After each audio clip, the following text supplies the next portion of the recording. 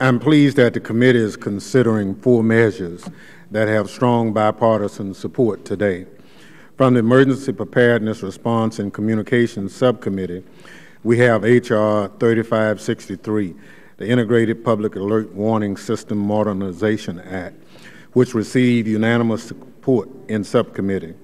From the Counterterrorism and Intelligence Subcommittee, we have H.R. 2764, the WMD Intelligence and Information Sharing Act of 2011, and H.R. 3140, the Mass Transit Intelligence Prioritization Act.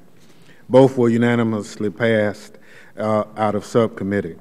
Uh, and finally, from the Transportation Security Subcommittee, we have H.R. 2179, a bill directing TSA to transfer loose change left at airport checkpoints to the USO to maintain their network of airport centers. H.R. 2179 was also overwhelmingly approved in subcommittee. With respect to this measure, I would say that I fly through DCA and Atlanta Hartsfield pretty regularly and have been impressed by the dedication of the men and women of the USO. They provide our brave service members the care and attention they deserve 365 days a year. Unfortunately, Mr. Chairman, as much as I support these four bills, when we look back at this day, I'm afraid that it may be remembered for more what we are not considering than what we are. Given your previous statements about moving cybersecurity legislation, we had expected to consider H.R. 3674, a measure authored by Subcommittee on Cybersecurity Chairman Dan Lungren. That bill was passed unanimously out of subcommittee in February. As you know, there's shared interest on both sides of the aisle and in both chambers of Congress to advance legislation to bolster our nation's cybersecurity posture. I have been disappointed that in the House, Democrats have been largely shut out of the Speaker's approach to crafting such legislation. That said, I look forward to considering long pursued cybersecurity legislation in this committee. There is broad agreement that for any such legislation to be effective, it must have three essential elements.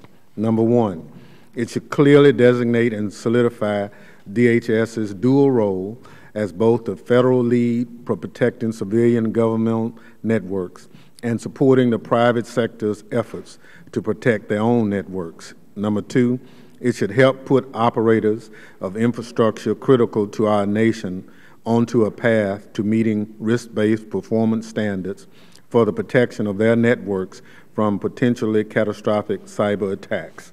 And number three, it should promote voluntary information sharing between and among the private sector and DHS about hacks and other detected cyber threats while protecting the privacy and civil liberties of Americans that work and play in cyberspace.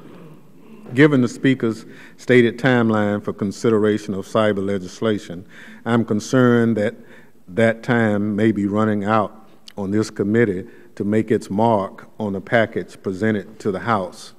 I'm also concerned that time has been lost on bipartisan legislation that you in the past have said deserves timely consideration given the Homeland Security ramification. That measure, of course, is H.R. 2356, the WMD Prevention and Preparedness Act of 2011.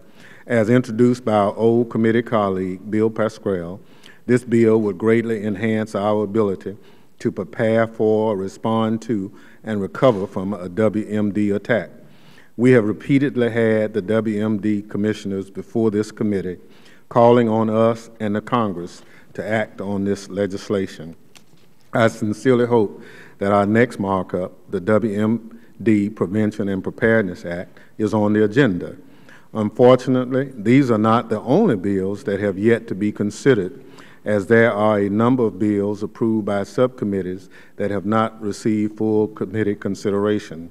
Some of these bills have lingered between subcommittee and full committee for as many as nine months. This slow rate of legislative action is just one of the persistent issues that this committee has faced in the 112 Congress.